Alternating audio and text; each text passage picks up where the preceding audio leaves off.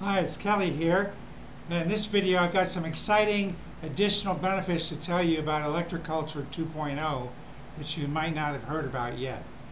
And it starts with what the CDC uh, announced yesterday. It was in it was on CB, uh, excuse me, NBC at least, on the website, maybe on TV, um, Yahoo News, and probably everywhere. They came out and announced that there, there was going to be probably a triple epidemic this uh, flu season, you know, coming in the in the late fall, winter, whatever. And so I want to talk to you about that and, and uh, tell you that with Electroculture 2.0, you don't have to worry about that. Um, see, when they have this idea that the flu and all these things are very complicated, they have to come up with different kinds of, you know, things in the arm, uh, all that for each particular one and they're saying they've got the flu, with another one they call RSV, which is uh, respiratory syncytial um, virus. Uh, don't ask me to spell that because it's not. It doesn't sound like it's spelled. And then of course the you know the C word, everybody knows about. So, uh, but what's what they don't seem to focus on uh, it, it, with viruses is keeping it simple. Just like they with cancer, they don't they don't keep things simple. With cancer, when they see an actual cancer cell, they call it highly undifferentiated. That's a seven-syllable word, and I think they must charge by the syllable. Um, highly undifferentiated means the same. All cancer cells, the true cancer cell, are the same regardless of what other tissue they have involved with it, and that's where they give it the names because if the other tissue is involved in it, that's how they identify it. But the actual cancer cells are all the same. And with viruses, they're looking for this, that, and the other, and the antibodies, and the antigens, and the this, and the that's, and whatever. I have no clue what they're talking about, and, and you might not either. And it really doesn't matter because there's one thing, one important essential Achilles heel to all viruses. And that is that all viruses that have ever been created since the beginning of time, all have negative needles, negatively charged needles. And they're inactive, and we have 380 trillion of them in our body, so it's a good thing that they're inactive. So what activates them? It's the cell membrane. If it's sick, if it doesn't have enough of a negative charge, then the virus gets in. But generally that doesn't happen, does it? Because you don't have the flu. With 380 trillion, we can be sick every every fraction of a second. If if our membranes weren't doing the job. So when the, when the membranes have the negative charge or negative net charge, it repels the viruses every single time, 100% of the time, just like with a light switch, it's either on or off. It can't get in, it's repelled. Negative, negative, it, they bounce off each other. So that's the key. How do we get the, how do we get the cell membrane to work better? Well, by spinning the copper with the Hartfeld energizers or on, on ceiling fans or on uh, the your solar powered uh, hangers outside, those kinds of things generate the kind of energy to boost your immune system of the cell membrane. The, the immune system that we think of is actually a secondary immune system because we need viruses. Viruses, uh, they, they get rid of the dead cells. If we, we have cells dying all the time, and if we didn't get rid of them, they would stack up and, and, and accumulate and accumulate more and more and more, and then we'd start to smell bad. So the viruses are our friends. They go in there, and they get rid of the dead cells, and the, the immune system, secondary immune system, can take care of that relatively small number compared to all the cells in the body. So it's really great to have viruses in our body. So with the with the uh, energizer, the heartfelt energizers, what have you, we protect ourselves.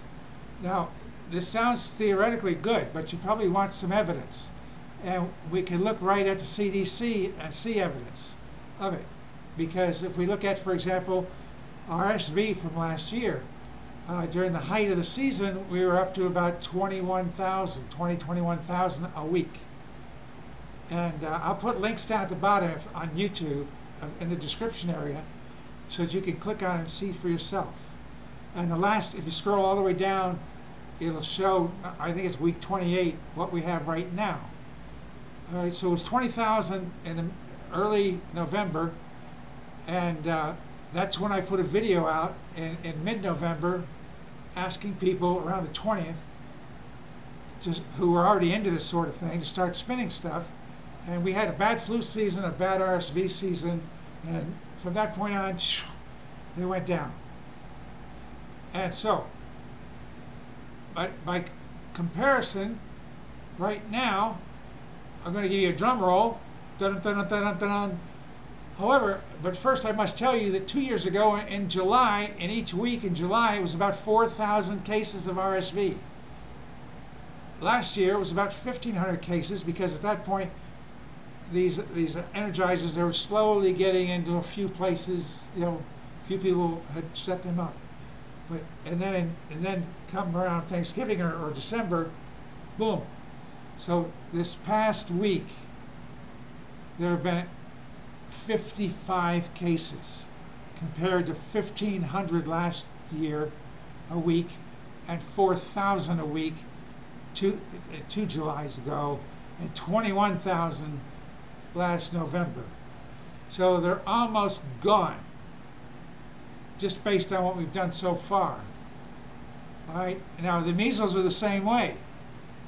In the U.S., uh, 2019 and before, for five years, the average was 4,000 cases of the measles a year in the U.S. And they have to be reported. Doctors are required by law to report every measles case they come across. 4,000 cases. This year, in the first six months, which includes the time when the flu or when the measles are the heaviest, which is winter and early spring, in six months, 50 states plus Puerto Rico, there have been all of 18 cases. Now, the CDC says that, that the measles are the most contagious of all the viruses. Between 12 and 18 people, each time someone gets it, 12 and 18 people can get it. And that's why they have these outbreaks. Well, there haven't been any outbreaks this year. None. It's spread out over 12 states. 18 cases over six months. All right, so there's there's been no outbreaks because we've got enough of them going that we've lowered it. Of course, there's always new 5G being added, uh, you know, more Wi-Fi being added to people's homes and, businesses every day. All that stuff, you know, the smart meters, or I call them smart beaters, all that stuff. So we want to keep adding to what we're doing in order to protect ourselves from every kind of virus and protect ourselves from every kind of fear mongering that the CDC or NIH or, or, or your favorite news station that's owned by BlackRock. Um, I got to tell you, I saw, saw a video of Larry Fink. He's the head of BlackRock. BlackRock owns stock in like almost all the 500, the, the Fortune 500 companies. And between them and Vanguard and State Street, they pretty much control what they do. He's on. He's recorded saying that he forces companies to do this, that, and the other, and he's sitting there, sitting with his hand, holding his hand over like this. He's physically twisted. What does that tell you? I've never seen anybody sit like that. Right? These are the same people who have been been trying to say all kinds of bad things about the movie that uh, that came out recently. You know what I'm talking about. At least I hope you do. Uh, so those folks are pushing it on the television, but if you watch the numbers, you'll see there will be there will be almost no flu. There'll be almost no RSV. The only thing there might be is COVID because COVID uh, cases are based on fraudulent testing the test is not designed to find a virus, or viral infection. All of us have COVID in us, so when they swab, a certain percentage of the time they're going to find it if they're looking for it. But that doesn't mean it's active like we were talking about before. So uh, the test is invalid. So the, the more people get tested, the more it will apparently show up, but that doesn't mean they have it. And it was just reported recently that they were actually hospitalizing people who tested positive, who showed up at the hospital because maybe they were having some trouble breathing or they whatever it was. They went in and and they, as a matter of course, the hospital was testing everybody that was coming in the emergency room to see if they had tested positive for COVID, and they and some of them did, so they hospitalized them. Some of them didn't come out. Some of them died because then they were given remdesivir and and, and then the remdesivir and, necessitated putting them on oxygen. And 80% of people get put on oxygen like that die. So um, anyway, those are the bonuses that you get by setting up Electroculture 2.0. We are actually going to make this world not only abundant with the food and beauty of flowers and everything, and uh, we are also going to help people feel better, be more energized, and be and not be fearful. And when you're not fearful, and you hear somebody telling you something that doesn't match your experience, you don't necessarily respond to it in the way that they want you to. Fear is a bad place to make decisions from.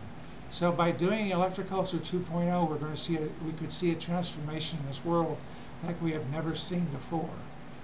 Um, I hope you like this video. If you do, uh, click the like button, subscribe, because then you can watch my other, you can check out my other videos.